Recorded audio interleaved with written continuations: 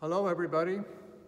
We draw close to Palm Sunday weekend and the beginning of the holiest week of our year.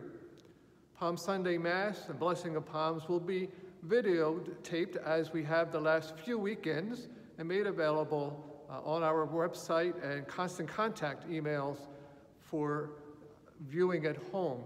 The palms, however, we cannot be distributed at this time, but we will hold them as long as we can and hopefully gather together as a parish community and family to distribute those palms. We have great news this Holy Week, though. The Holy Week services and masses will be live streamed from St. Eleanor Church so that it will be available for all of us to gather together virtually as we worship the Lord during these sacred moments. So on Holy Thursday, Mass will be celebrated at 4 p.m. That's a new time. 4 p.m. Holy Thursday, live streaming of the Mass of the Lord's Supper.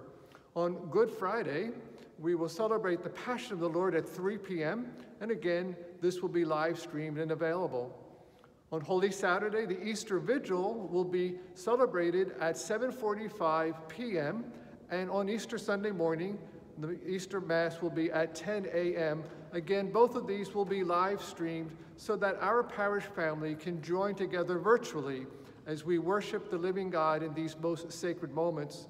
We hope and pray that at least this effort and the ability to gather together virtually will help us all grow more intimately connected to our Lord as we make spiritual communions and seek to pray together.